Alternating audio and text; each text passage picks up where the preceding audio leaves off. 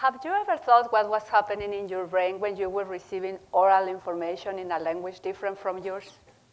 That's the core of my research, listening, a complex and invisible skill occurring in our brain, crucial to learn a language.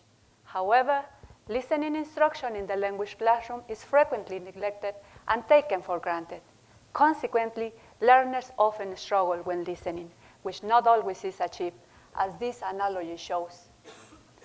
The good news is that teaching listening strategies has shown to be fruitful, and that more exposure to comprehensible and enjoyable text is suggested as a better approach. But it lacks how. And recently, teaching listening from text is proposed based on the positive findings identified in writing and reading skills. Thus, is here where my research comes in, to study listening from oral narrative text. Just to illustrate, if I say, once upon a time, I'm pretty sure you know what's coming next. That's what my students learn. The language use, the structure, and the purpose convey in context.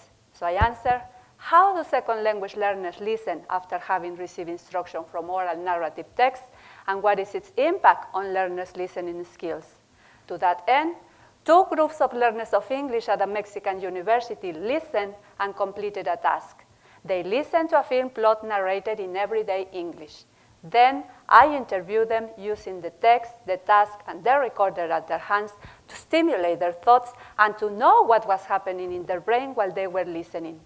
I compare them before and after an experiment. The experimental group received instruction from oral narrative text, while the control one exposure to regular class hours. And now you listen to some findings so far.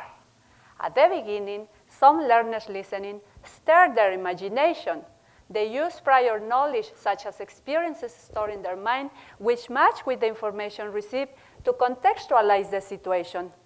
Surprisingly, they criticize how the language was used, but at the same time, they were engaged in it. In both occasions, learners listen and use different strategies in a dynamic way. But at the end, the experimental learners not only listen for whole chunks of information and the purpose conveyed, but raise their interest in listening and communicating beyond the classroom more than the control group did. Thus, teaching listening from text can help us understand the listening ability, and learners know how to listen purposefully in different contexts and situations. Finally, do you know how to listen? Thank you for listening.